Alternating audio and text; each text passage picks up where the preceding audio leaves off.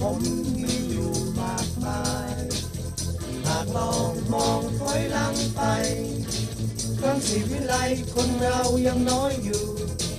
บ้านอยู่ถ้ำอยู่ป่าอยู่รูผมยาวรู้ไม่ตัดเลย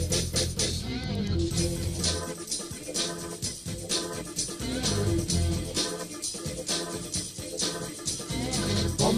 ผมผม ทรงผมเริ่มเปลี่ยนแปลงไป เมื่อคนคนคิดกันไกล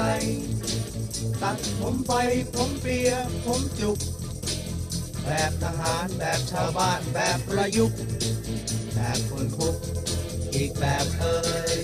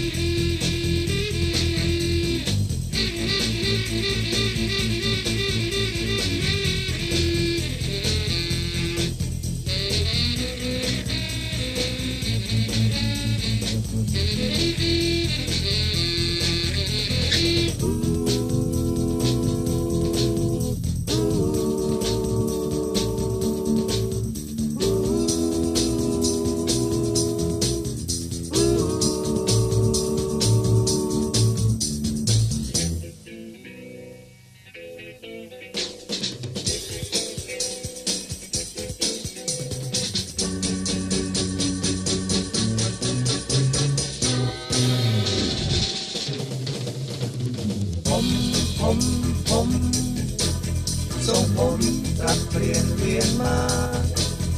ราใสยาวย้อยหน้าตากลับหันมานิยมว่าสวยดีสำเร็จตัวเองอย่างคลื่นเพลงว่าฮิปปี้ผมทรงนี้คนป่าเอ่ย